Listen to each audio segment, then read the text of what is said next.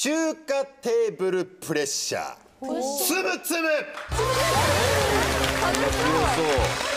春日さん何を積むのかくじ引きで決めてください。これ大事ですか？いきましょう。こちらでございます。これだ。いいよこれだ。いいよ高いやつがいい。レンゲちなみに一人最大三つまで積むことが可能なので、三つまではいつまで積むことが可能なので出川出しするなよ積み重ねてください出川出しするなってえすごいえすごいえすごい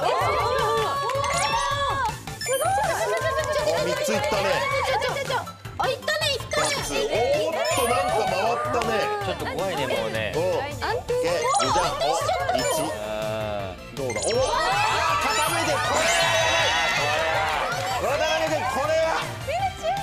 ちょっと戻して。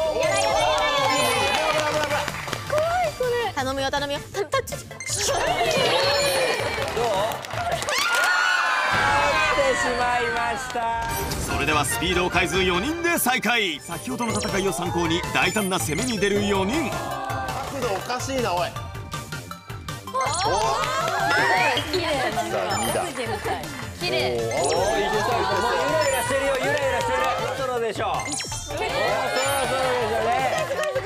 うそろそろでしょもうそろそろだもうそろそろでしょもう危ない。もうそして3人となった続く3回戦。スピードを上げて挑戦するが強気な姿勢は変わらずどんどん積み上げていく。しかしピードが上がった影響でレンゲに遠心力がかかりまさかの崩壊。まあ渡辺君かな。次の人が乗っけるまではね